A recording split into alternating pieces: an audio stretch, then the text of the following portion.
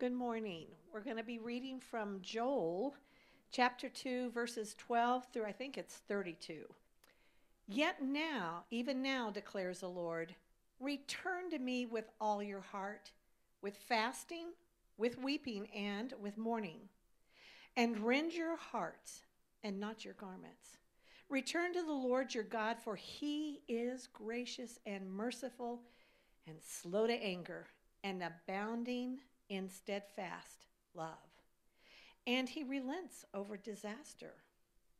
Who knows whether he will not turn and relent and leave a blessing behind him, a grain offering and a drink offering for the Lord your God?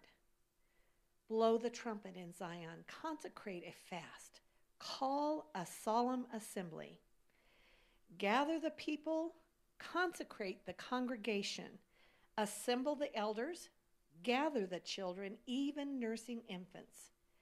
Let the bridegroom leave his room and the bride her chamber. Between the vestibule and the altar, let the priest, the ministers of the Lord, weep and say, Spare your people, O Lord, and make not your heritage a reproach, a byword among the nations. Why should they say among their peoples, Where is their God? Then the Lord became jealous for his land, and he had pity on his people. And the Lord answered and said to his people, Behold, I am sending to you grain and wine and oil, and you will be satisfied. And I will no more make you a reproach among the nations. I will remove the northerner far from you and drive him into a parched and desolate land, and his vanguard into the eastern sea, and his rear guard into the western sea, the stench and the foul smell of him will rise, for he has done great things. Fear not, O land. Be glad and rejoice, for the Lord has done great things. Fear not, you beast of the field, for the pastures of the wilderness are green, and the tree bears its fruit and the fig tree and the vine give their full yield. Be glad, O children of Zion, and rejoice in the Lord your God, for he has given the early rain for your vindication. He has poured down for you abundant rain, the early and the latter rain, as before. The threshing floors shall be full of grain, and the vats shall overflow with wine and oil. I will restore to you the years that the swarming locusts have eaten, the hopper, the destroyer, and the cutter, my great army, which I sent among you. And you shall eat in plenty and be satisfied, and praise the name of the Lord your God, who has dealt wondrously with you, and my people shall never again be put to shame. You shall know that I am in the midst of Israel, and that I am the Lord your God, and there is none else. And my people shall never again be put to shame. And it shall come to pass afterward that I will pour out my spirit on all flesh. Your sons, your daughters shall prophesy, your old men shall dream dreams, and your young men shall see visions. Even on the male and the female servants in those days, I will pour out my spirit. And I will show you wonders in the heavens and on the earth blood and fire and columns of smoke. The sun shall be turned to darkness and the moon to blood before the great and awesome day of the Lord comes. And it shall come to pass that everyone who calls on the name of the Lord shall be saved. For in Mount Zion and in Jerusalem there shall be those who escape, as the Lord has said, and among the survivors shall be those whom the Lord calls. Amen.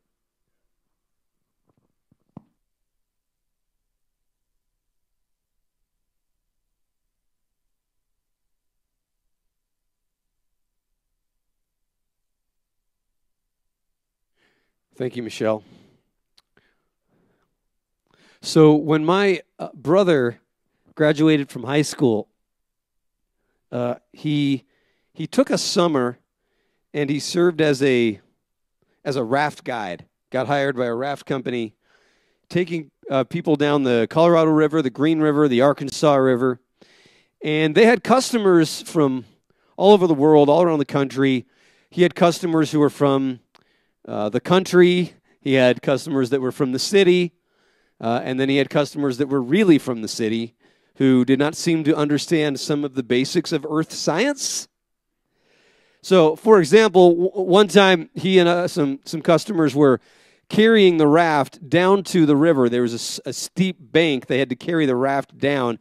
And then, as they were putting the boat in the river, one of the customers said, "Boy, this is really going to be a bummer when we have to take it out up this hill at the end of the raft trip." As if that, that wasn't, you know, the, the, as if that wasn't bad enough. Another customer literally said one time when they were on the river, Are we like going in one big circle?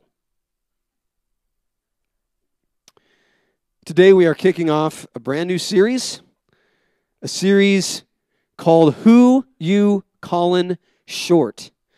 It's a series on the minor prophets.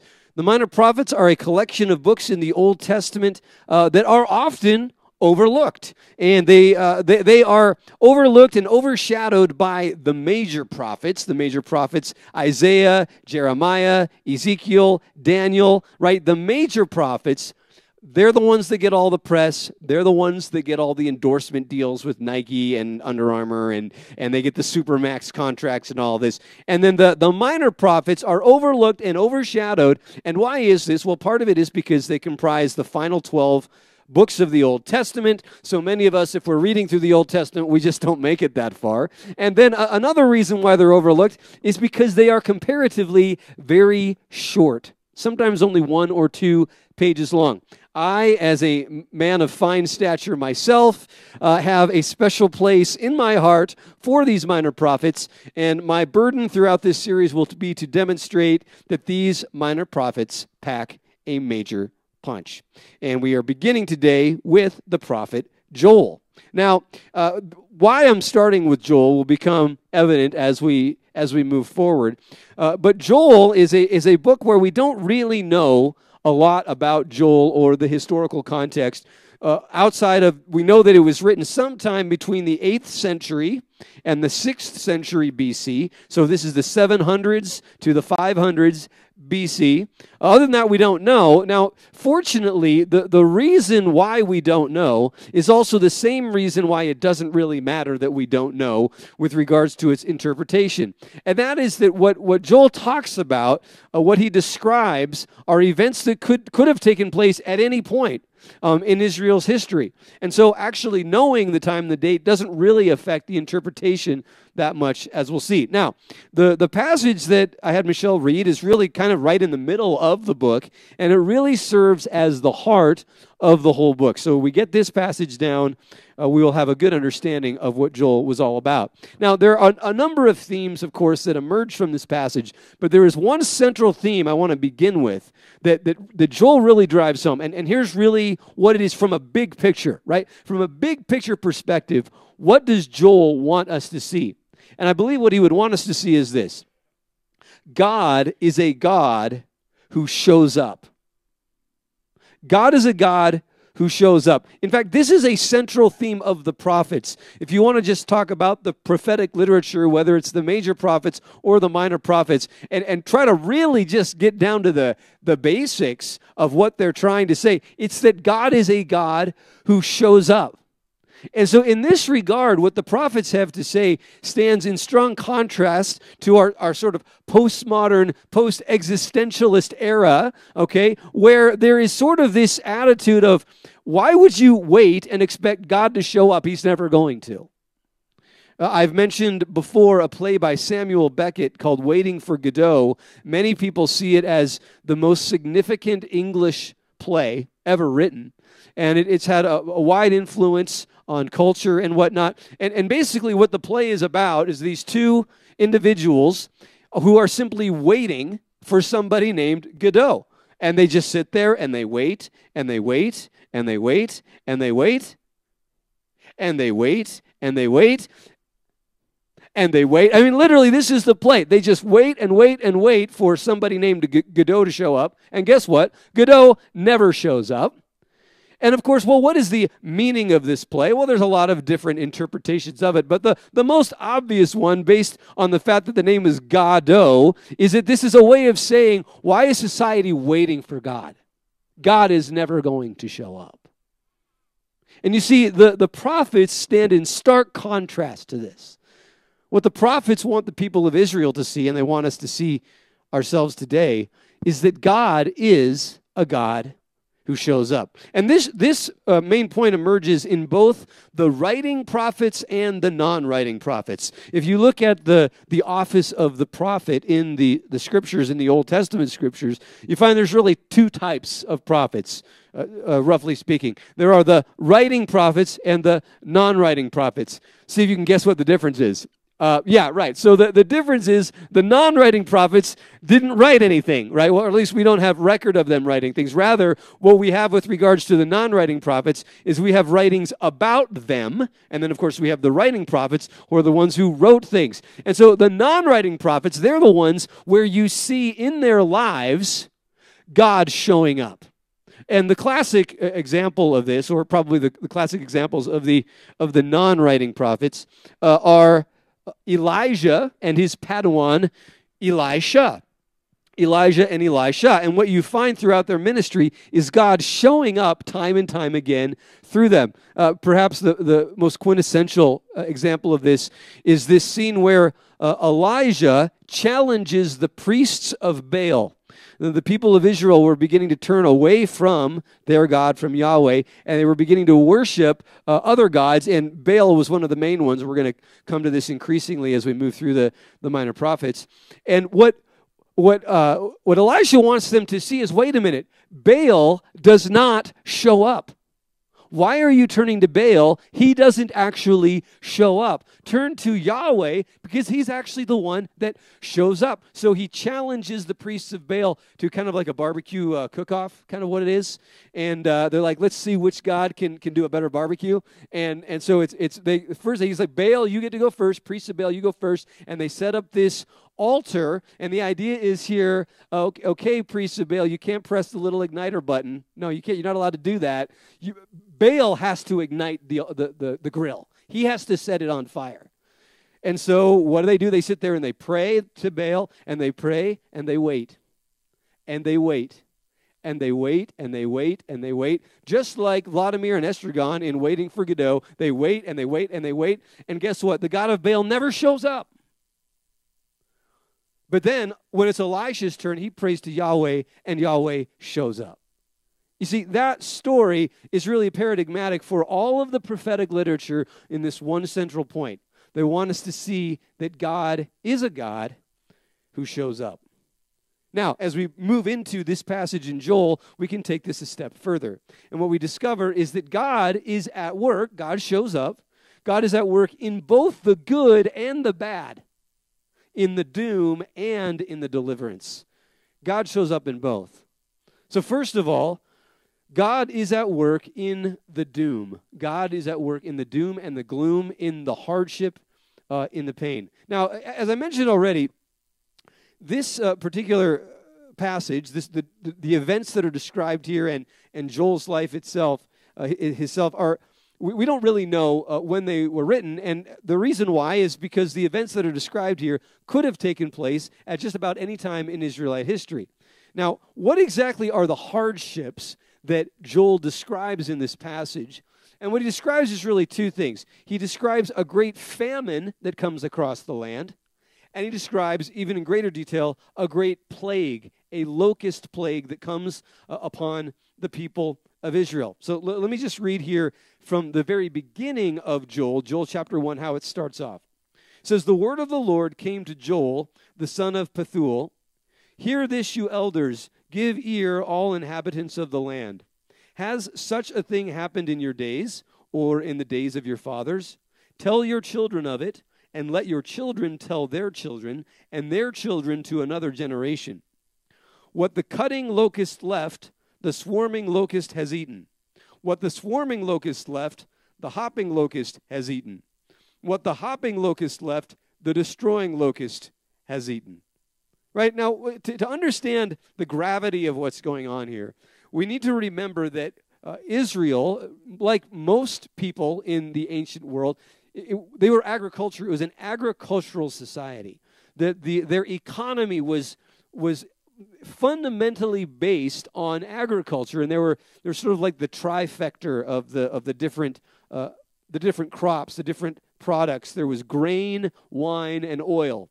These were the big three. And so you had the grain, you had the, the wheat and the barley, uh, then you had the wine, so you had the, the vineyards, and then, of course, you had the oil, the olive groves. Right? So, so these were the, the, the three staples of their agricultural society. And what, what we see described in Joel is this, plo- this plague of locusts that sweeps through and devastates all of their agricultural crops just completely wipes it out. And, and we sort of get this picture of these locusts coming in waves, right? So, like this wave of locusts comes and wipes out maybe a quarter of their crops. And you can sort of imagine the Israelites hiding in their homes and just watching this locust plague come through and, and they come through and then the locust plague leaves they're like, Phew. and then they run out like, oh, okay, good. We still got three quarters of it. But it's like, oh my gosh, look out! Another another wave is coming. So that they run back into their homes and they're hiding in their homes. And this other wave comes and and and attacks, and then it leaves. And then they run. Okay, good. There's still half left. Oh my goodness! Another wave comes in, and this just keeps coming and keeps coming, keeps coming until it's all gone. One passage describes the, the bark of the olive trees, all of the bark just being completely ripped off. There's just nothing left. There's this imagery of, we're, we're not talking about like, you know, a few, a few moths that maybe get into your church or get into your house. Right? We're talking about hundreds of thousands of, of locusts covering the ground, covering the sky. Look at the imagery that is described here uh, in chapter 2, verse 10 says, "The earth quakes before them." The heavens tremble, the sun and the moon are darkened, and the stars withdraw their shining. What he seems to be suggesting here is that the reason why the, the sun is darkened and the stars are darkened is because there is a cloud of locusts so massive that it's literally blocking out the sun and the stars like a cloud.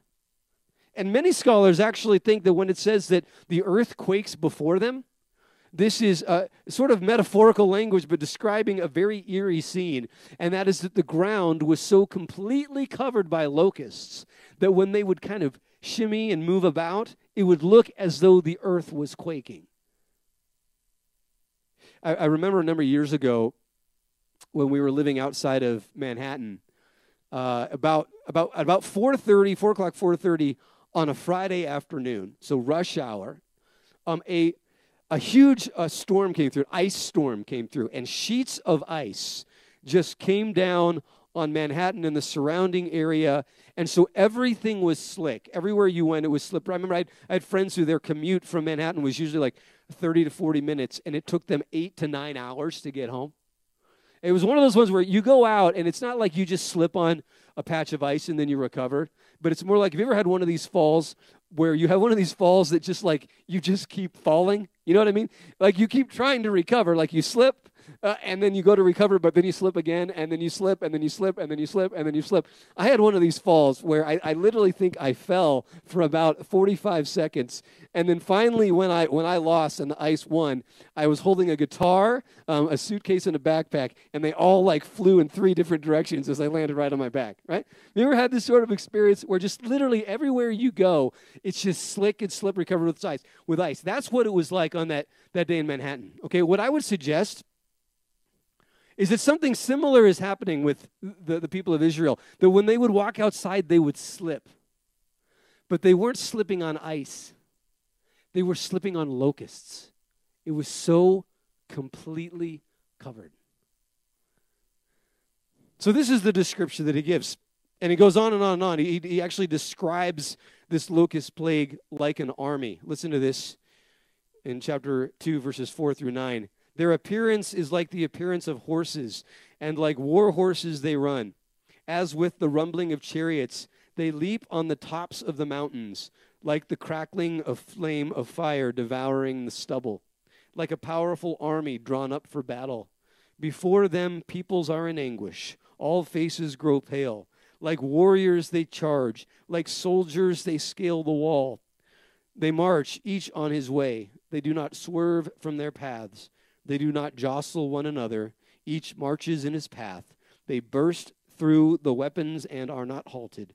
They leap upon the city. They run upon the walls. They climb into the houses. They enter through the windows like a thief. What's described here is total devastation, economic devastation. Not just ew, like we're kind of creeped out by it, right? No, this is total economic devastation at the hand of this locust plague. Now,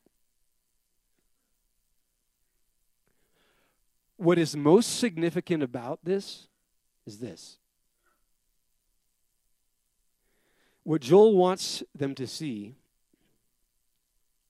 is that God is behind this terrible event.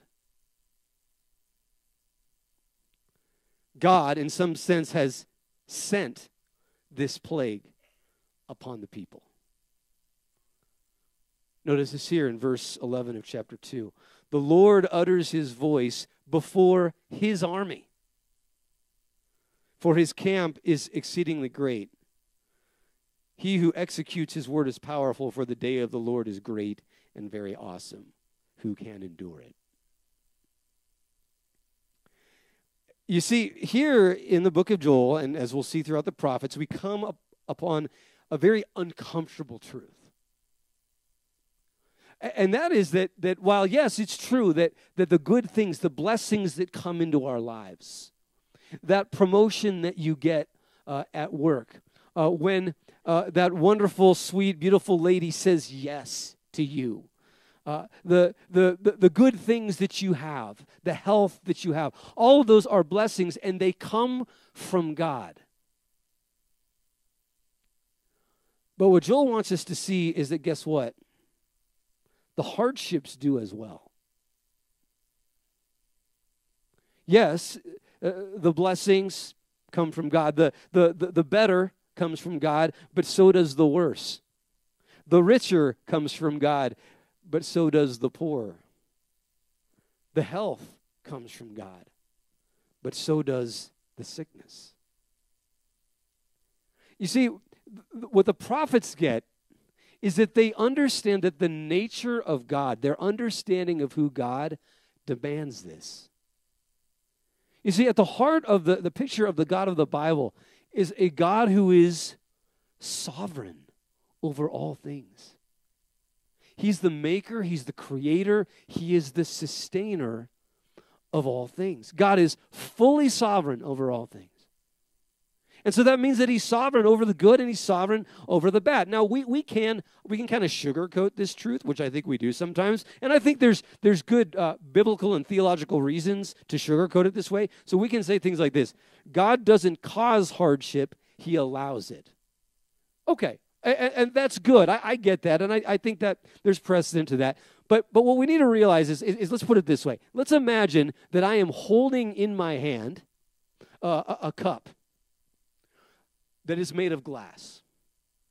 And I'm just holding this cup made of glass. And then imagine that I let go. And the glass falls and it breaks. Okay, well, well, you could say, did, did I cause it to break or did I just did I just let it break? I didn't break it. I just let go, right? I mean, it, there, there, there comes this point where it's like God is so sovereign that while we can say that, it's still kind of the same thing. God is so sovereign that even when He allows it, there's a sense in which we can say that He has caused it. Or to put it another way, He didn't have to allow it, He could have stopped it. And so there's this important sense. So this is where, see, the, the prophets, they're just bold about it. Right? You can you can word it however you like. The prophets like to just be in your face, bold it. God is behind this. They don't sugarcoat it. They just embrace it. However, what you find over and over and over and over again with the prophets, every single one of them without fail, they say this. Ultimately, God's action results in the deliverance of his people. Yes, he may be, for, for reasons we can't always get into, he may be behind the hardships and the trials, but ultimately, for his people, it always leads to deliverance. You see, throughout this series, we're going to be reading a lot about doom and gloom. The prophets, that might be another reason why people don't read them. There's a lot of doom and gloom in the prophets. Uh, I remember when I was living in Maryland, my grandpa lived with me uh, for several months. And uh, he, I, I, would go off to work, and, and he would just stay at home. And he loved to listen to the radio.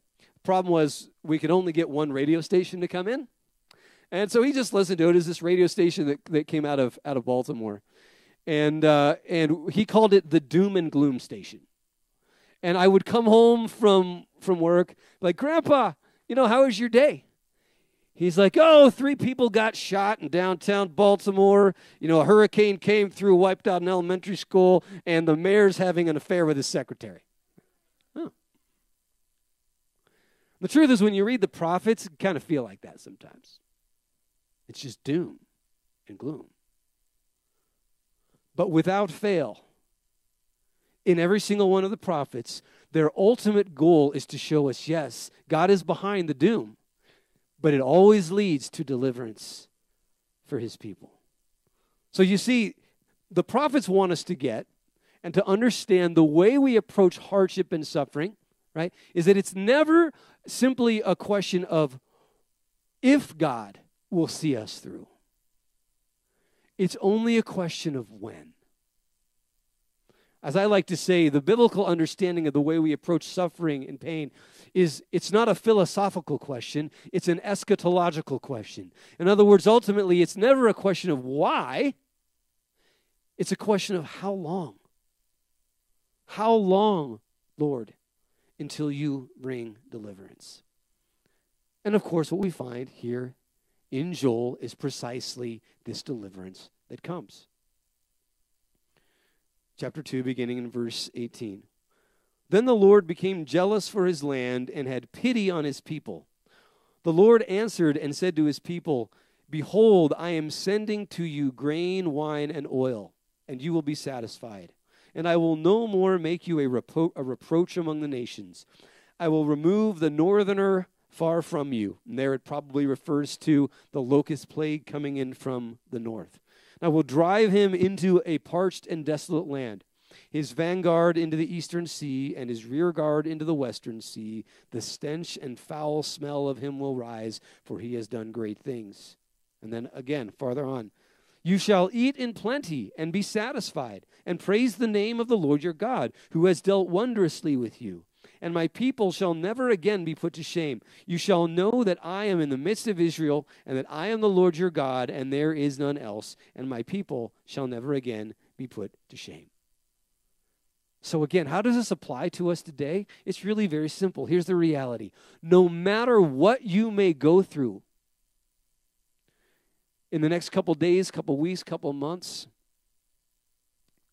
God will deliver you through it life, get this, life will get easier. Whatever you're dealing with, life will get easier, even if you have to go through death to get there. It will get easier. Deliverance is on the way. There is not always one more hill to get over. We are not just going around in one big circle. How many of us feel that way sometimes? Like you're on a boat. You're in you're in white water and you're just going round and round and round and round and there is no way out. Friends, the hope of the gospel, the hope of who the God is as described throughout the Bible is that yes, there will be hardships, but God will see you through this.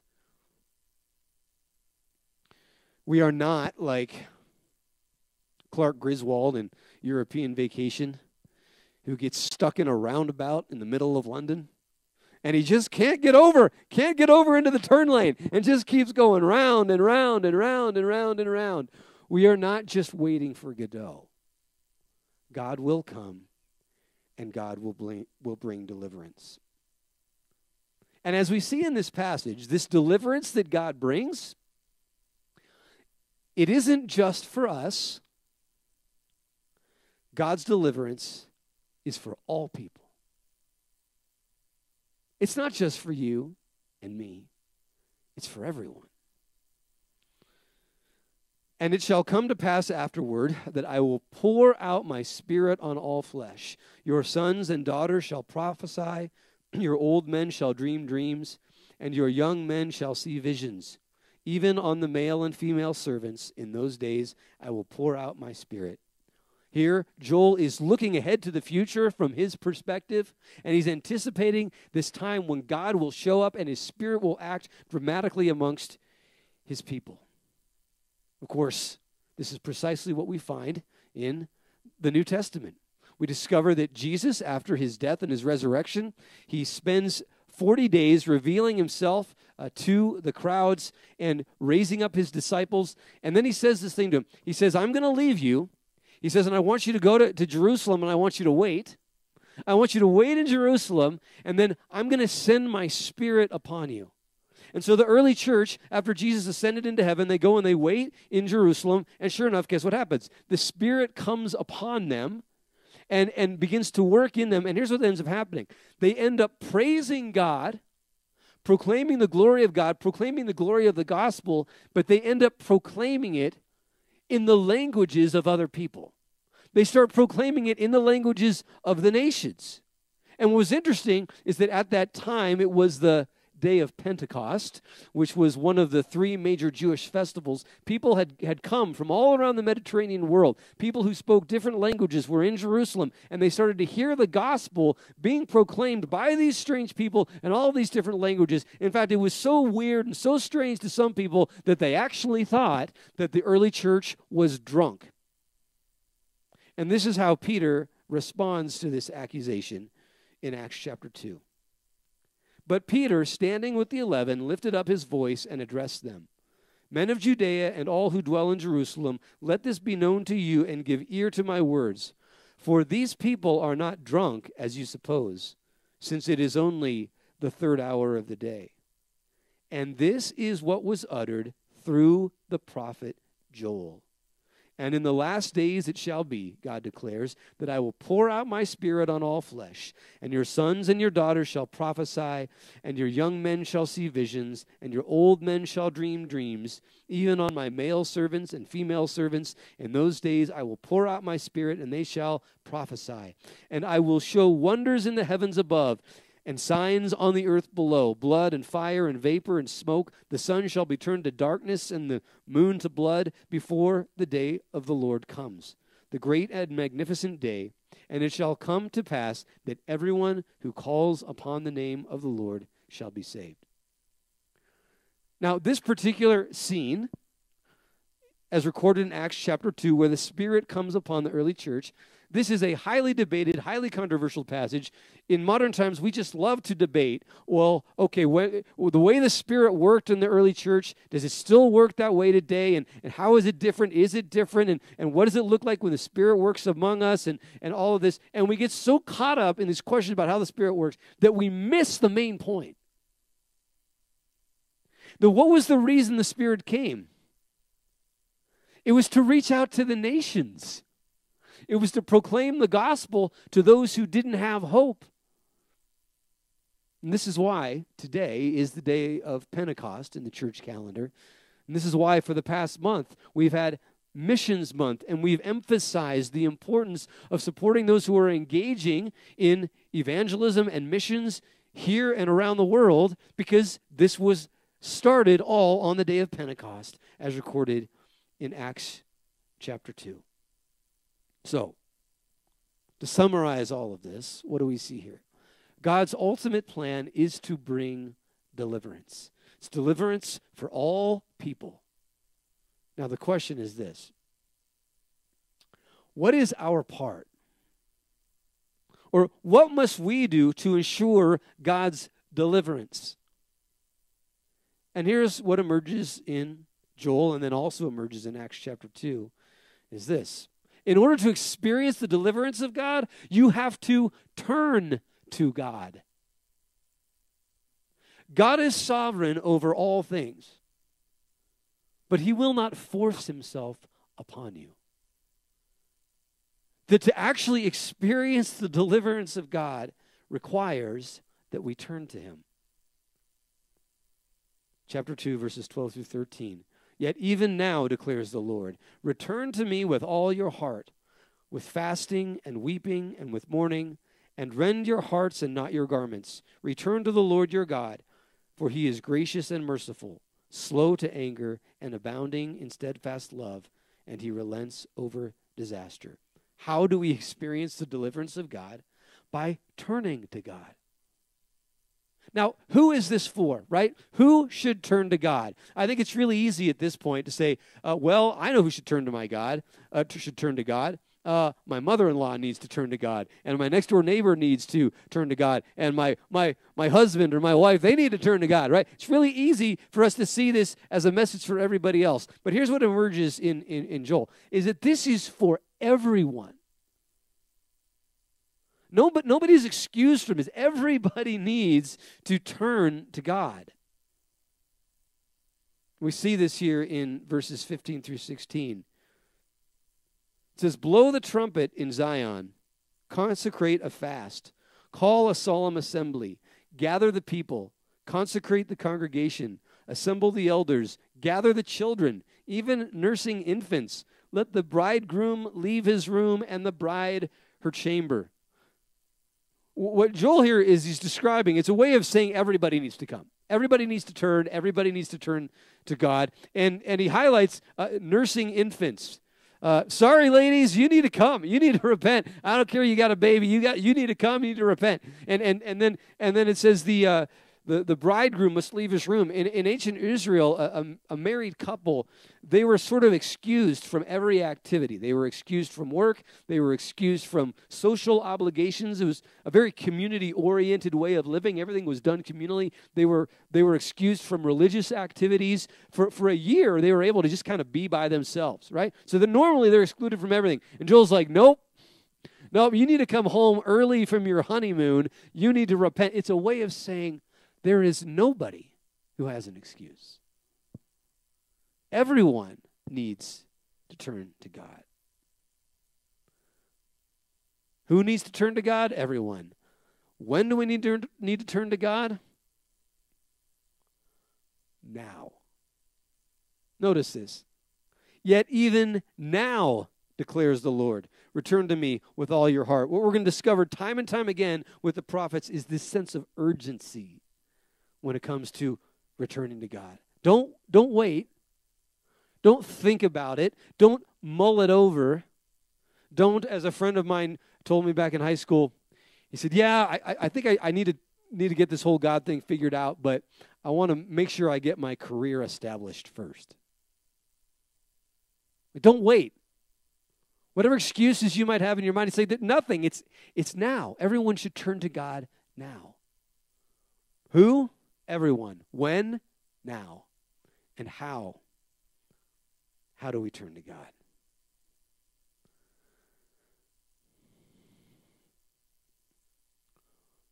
Wholeheartedly. Turn to God with everything that you have.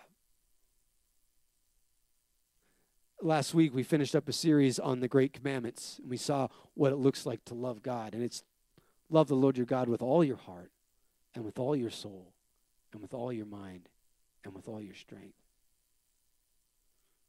We find the same thing emerges here. We are called to turn wholeheartedly to God. Uh, verse 12 says this again, yet even now declares the Lord, return to me with all your heart, with fasting and weeping and with mourning. This idea of fasting and weeping and mourning, all of that is just a symbolic way of saying turn everything over to God. Psalm 139, verses 23 through 24, I think really sums up what this kind of looks like. It says, Search me, O God, and know my heart. Test me and know my anxious thoughts. See if there is any offensive way in me, and lead me in the way everlasting.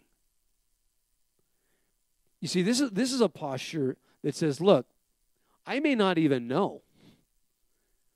what ways I have turned from you. God, I need you to, to reveal that to me. I lay my life before, I lay my heart, my mind, I lay everything before you, and I ask you to reveal to me in what ways have I turned from you. This is a wholehearted turning to God. Now, what emerges from this is another very uncomfortable truth. And here's what it is the hardships we face are often the consequence of our own sin.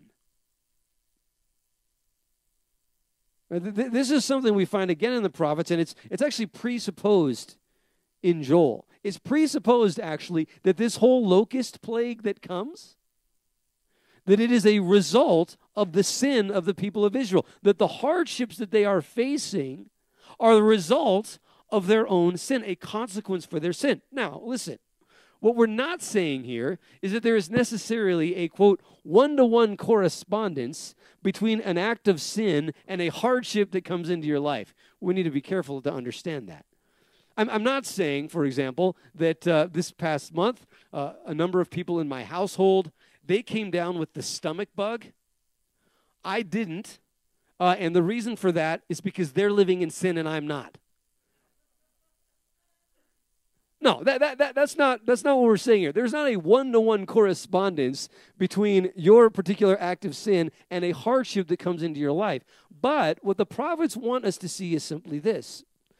At, at, just at the very at the basic level, what we need to remember and understand is that all hardship is the result of living in a fallen world all pain and all suffering is ultimately the result of the fact that we as a people, humanity, have turned away from God. That's why there is pain and suffering in this world. And so hardships remind us of that breach in our relationship with God. So, at the very least, when we experience hardship, it's designed to serve as a way to call us back to God to reflect on our own lives and to recognize that every single one of us has, in some way, contributed to the fallenness of the world in which we live. Or, as C.S. Lewis puts it, he says that pain is God's megaphone to rouse a deaf world. Elsewhere, it says that God disciplines those he loves as a father the son he delights in that when these hardships come into our life, we can see them as a way in which God is, is seeking to draw us back to Him. What's interesting is that Joel actually never specifies what the sin of Israel was in this particular situation. Almost as if he wants them to individually reflect on ways in which they have turned away from God. And then the whole point is that when we confess our sin, when we turn back to God, we experience deliverance. Why is this? Why does confession lead to deliverance? Well, ultimately, the answer is because on the cross, Jesus died to absorb the consequences for our sin. Jesus died to take the judgment that we deserve. And we see this actually we see a hint of this in the book of Joel itself. In verse 31 of chapter 2, it says this The sun shall be turned to darkness and the moon to blood before the great and awesome day of the Lord. Now, as we've already seen, this imagery of the, the sun uh, darkening and whatnot, in Joel's original context, he, he had envisioned this locust plague that, that blocks out the light. But this imagery of the sun going, going dark, th- this becomes an image that is used throughout the prophetic literature, and it, without any necessarily it explaining why it's getting darkened, it just becomes an image for the day of the Lord. It becomes an image for the day when God will come in judgment and in justice. And of course, what's interesting is where do we find the sun going dark? We find it when Jesus is crucified. In Matthew chapter 27, verse 45, we read as Jesus is hanging on the cross, it says this Now, from the sixth hour, there was darkness over all the land until the ninth hour. And about the ninth hour, Jesus cried out with a loud voice, saying, Eli, Eli, lema sabachthani. That is, My God, my God, why have you forsaken me?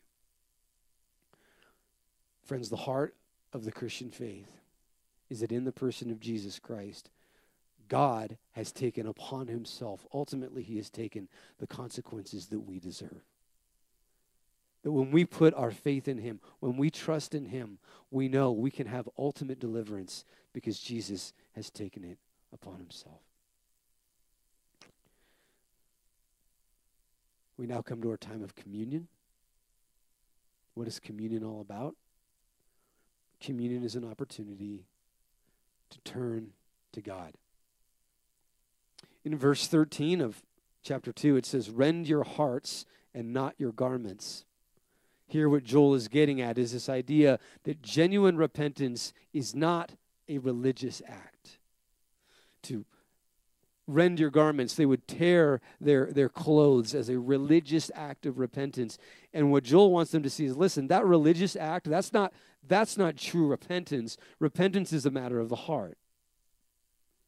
Yet at the same time, Joel isn't saying there isn't a place for a religious dimension to your repentance. Just a few verses later, he says this Between the vestibule and the altar, let the priests, the ministers of the Lord, weep. Between the vestibule and the altar, he's saying there, there, there is a place for a religious act of repentance. And the point is that religion, rightly understood, can be a way to help your heart turn to God through the symbolic expression of repentance, it can actually be a way that helps your heart turn to the Lord. This is why we take communion. You do not need to eat bread and grape juice to repent. It's not required to be right with God that you take communion, but rather in taking the bread and the cup, which represent the body and the blood of Christ, it's there to point us to the reality of what God has done such that our heart repentance is more genuine.